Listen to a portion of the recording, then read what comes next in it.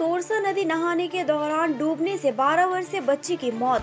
मामा के घर आकर नदी में नहाने के दौरान 12 साल की बच्ची की नदी में डूबने से मौत हो गई। स्थानीय सूत्रों के अनुसार कुचबिहार के दोरसीपाड़ा इलाके की रहने वाली सुहाना परवीन, जो कि केवल 12 वर्ष की थी, अपनी माँ के साथ कुचबिहार के करीसाल इलाके में अपने मामा के घर घूमने आई थी। कुछ दिन मामा के घर रहने के बाद, आज घर जाने से पहले वो अपनी माता के साथ तोरसा नदी में स्नान करने गई थी। तैरना न आने के कारण सुहाना परवीन नदी में बह गई। इस दौरान उसकी माँ चिल्लाने पर स्थानीय लोग दौड़कर वहाँ पहुँचे। थोड़ी देर बाद बच्चे को नदी से निकाला गया।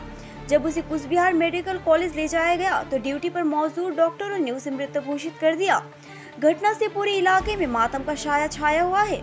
मृतक लड़की के मामा मुजीबुल हक ने कहा कि उनकी बहन और भांजी उनके घर पर आई थी उन्हें आज घर जाना था घर जाने से पहले दोनों नदी में नहाने के लिए गए थे वहीं उनकी भांजी नदी में बह गई स्थानीय लोगों ने उसे बचाकर अस्पताल पहुंचाया जहां डॉक्टरों ने उन्हें मृत घोषित कर दिया এই সকালবেলা এই দশটার সময় চান করতে নামছে তো চান করতে নামে ডুবে গেছে তো ওই জন্য খোঁজাখুঁজি করলাম করার পরে যে ঘাটপাড়ের যে ফাঁসি ঘাটের ব্রিজটা আছে না ব্রিজটার ভাটিতে গায়ে খেয়ে আমি খুঁজতেছি এতটুকু চলে।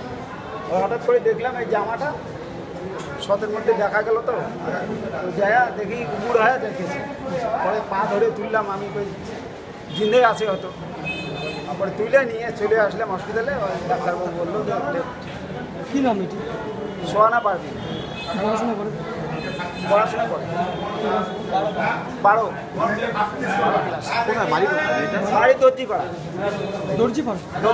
এখানে আত্মীয়র বাড়ি যাচ্ছে কি হয়েছে সে কি- আত্মীয় বাড়ি থেকে স্নান করতে গেছে হ্যাঁ আমার নাম আমজাদ হোসেন।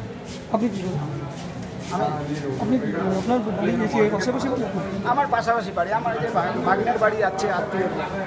তোমার বাড়িতে এসেছিল? ঘটনাটা কি? কেন এরকম হলো? আমাদের বাড়িতে আসছে ঘুরতে আমি তো সকালবেলা বাইরে গেছিলাম কাজে টোটো চালাই।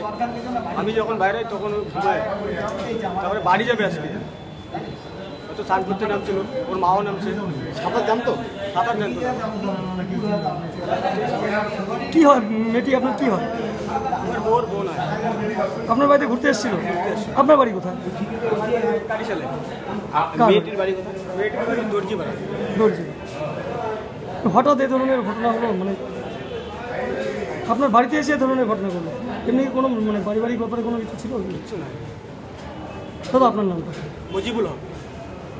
কীরকম বয়স হবে মেয়েটি বারো বছর। পড়াশোনা করতো?